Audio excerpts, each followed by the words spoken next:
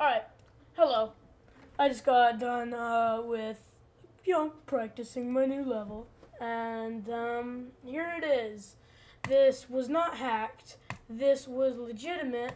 I did it in 1446 attempts and under 10,000 jumps. I just uploaded like a couple seconds ago.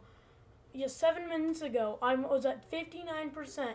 And I am not joking you. I fluked from 59. I'm not joking fluke from 59. Th that's crazy.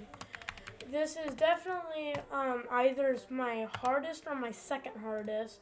Um, Clubstep V2 might uh, might be a bit. Um, uh, what is it? Ooh, that's actually a good set.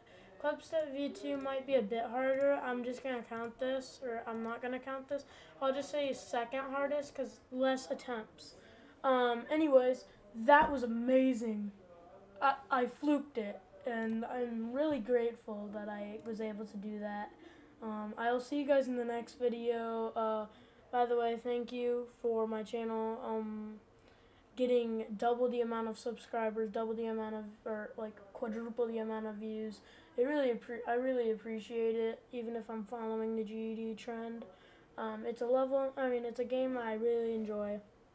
And, um, yeah, uh, I like doing I like doing it, and hopefully you guys like watching my content, even if it's for a couple seconds. Um, anyways, see you guys. I love you, and uh, see you in the next video.